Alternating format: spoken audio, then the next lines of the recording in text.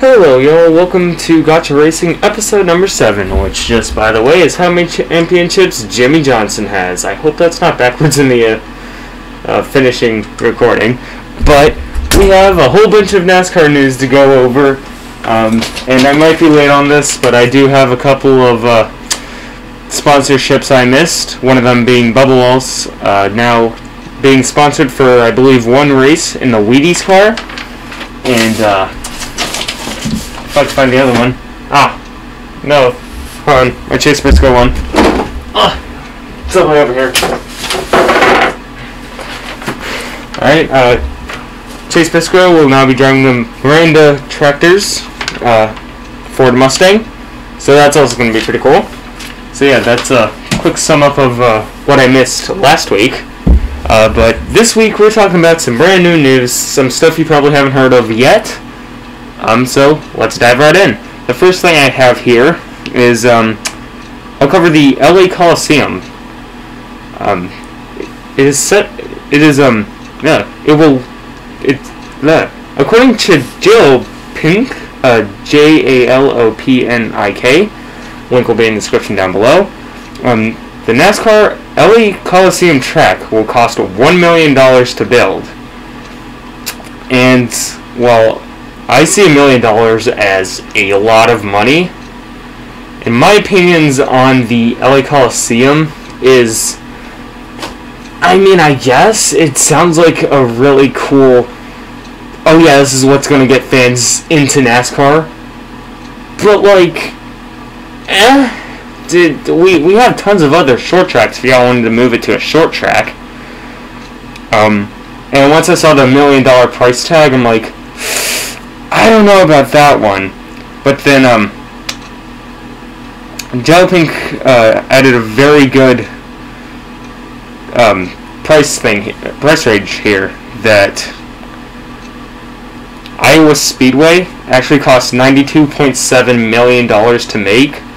So NASCAR just throwing around a couple million or a single million probably isn't that much. I'm still very excited to see what's going to happen with the next gen cars at the LA Coliseum. I'm still excited to see the Coliseum racetrack because I think that's going to look pretty cool. Um, where like unlike Bristol, for Bristol I was like, uh, we already have like dozens of short tracks and literally or dirt tracks, and like you could literally put those things on any dirt track and it would have gotten fans excited for NASCAR being back on dirt. Well, for the LA Coliseum, it's not quite like that. You don't have just the fact that it's at the LA Coliseum alone is very like, whoa, wait, what's happening? To uh, some new potential fans. So I definitely think that this one, this one's going to be an interesting race.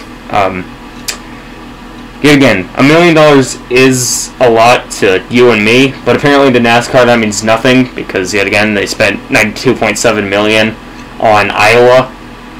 So, well, NASCAR's spending a lot of money, uh, but hopefully it's for the best. Hopefully we get a lot more fans, and we can do it again next season, if everything you know is cool in the end. So my next story I have is fans go crazy as Michael Waltrip hints at NASCAR Cup Series return from Essentially Sports. So, this came from a tweet. Let me see if I can scroll down to it. If it'll load.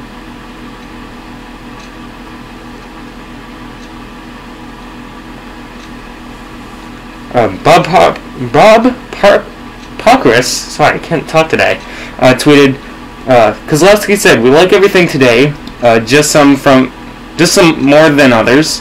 I'm pretty excited about I'm pretty excited about it because the cars are significantly more difficult to drive. If you make a mistake, the penalty is huge. The Forge felt like it was a 2005 Cup car.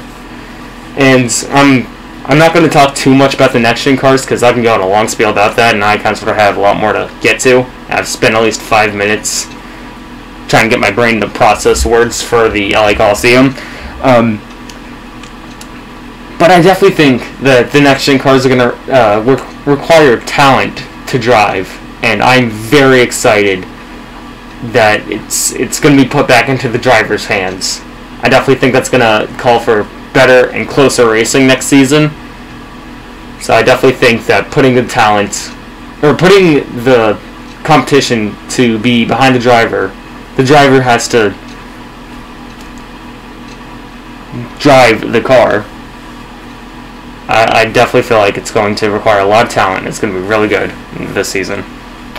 Um, Michael Waltrip replied to that, and he said, I ran pretty good in 2005. Maybe I'll try it again. And well, some fans went crazy with it. One user responded, Mike, you had a 23rd place average finish in 2005.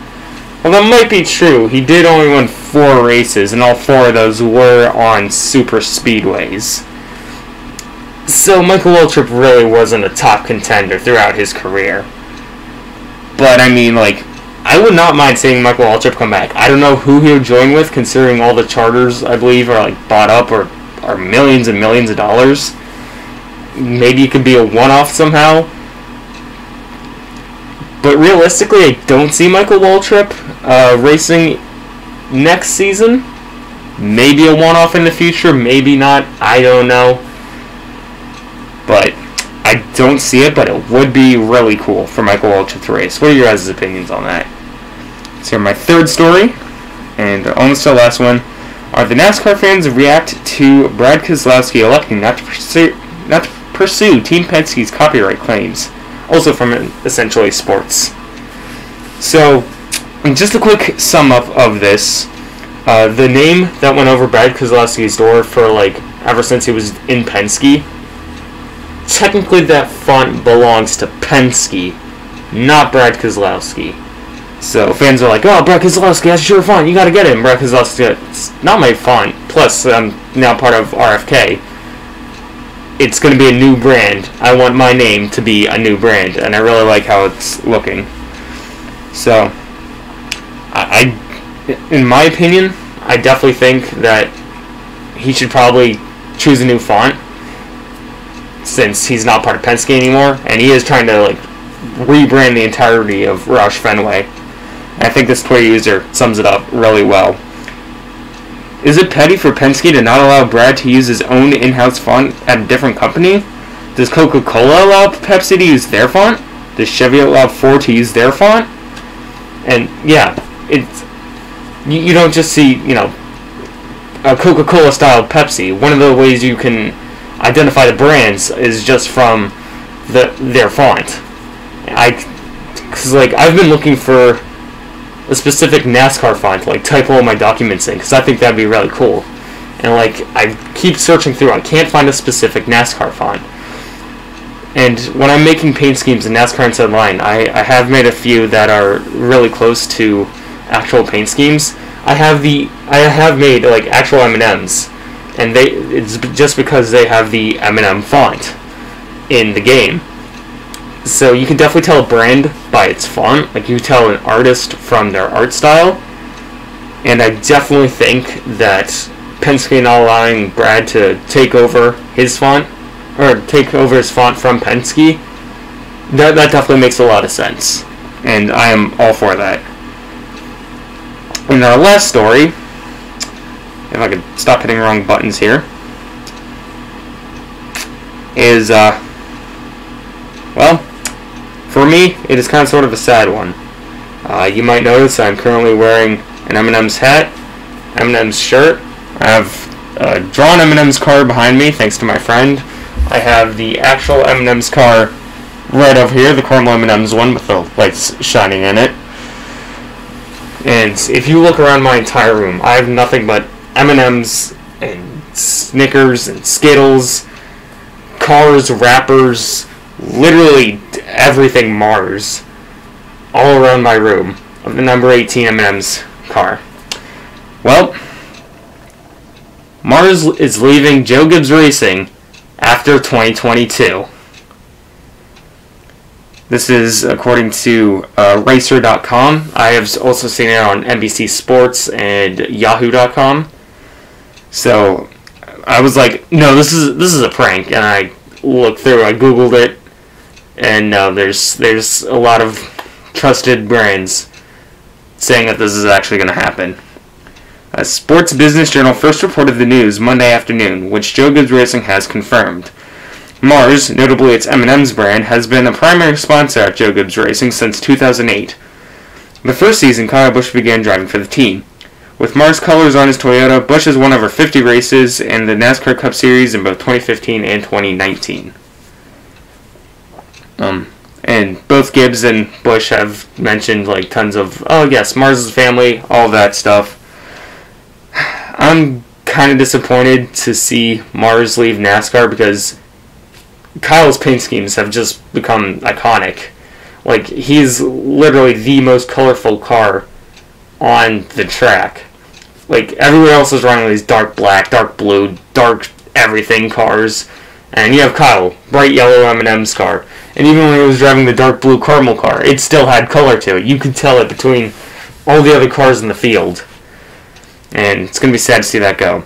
And I do know that a few people might think, oh yeah, it's because what he said at Martinsville, which, yeah, is a totally reasonable um, idea. But uh, Joe Gibbs was actually notified earlier in the summer about Mars's leaving. Uh, so that way he could start looking for new sponsorship for the number 18 Toyota Camry. Uh, Mars has also been the official partner of NASCAR since 2000, with uh, the Mars named as the sport's official chocolate. Um, recording. Okay. So, yeah, the number 18 M&M's car will be no more. Who will be the sponsor in 2023? That is a good question. I'm going to speculate it is going to be the Interstate Batteries. I think Interstate Batteries is going to step up and sponsor the 18 a lot more. Uh, you saw last season that Sport Clips also sponsored the number 18, so you might see more of that. Um, but I, I definitely don't think you're going to see like M&M's. M&M's was M&M's and Mars were like on the majority of Kyle's cars, and then like Interstate Batteries and Sports Sports Clips were on there for a couple of races. I don't think you're to get to see that for 2023. I think you're to see the number 18 in a lot of different paint schemes with a lot of different sponsors. Yet again, M&M's has been in NASCAR since 2000, before I was even born. And after about 21 years of support, or 22 years of support at the end of this season, I can definitely see it being time to pack the bags. NASCAR is a very expensive sport, and Mars is probably just done paying with NASCAR. Probably done with some of Kyle Busch's an- antics. Uh, but yeah, it's pretty disappointing to see the Mars brand leave NASCAR. Well, those are the uh, the most recent stories up, and all of you guys are now up to date. I will put the links in the description below. I'll actually send the NBC Sports uh, version of the Mars leaving story. Um, but all the links I used will be in the description down below. And yeah, if you enjoyed this content, um, I've been meaning to get more scripted NASCAR videos like this. Uh, so it won't just me be sitting around here for 13 minutes trying to think of what to say. Uh, but I just had a couple of things of breaking news I just wanted to mention.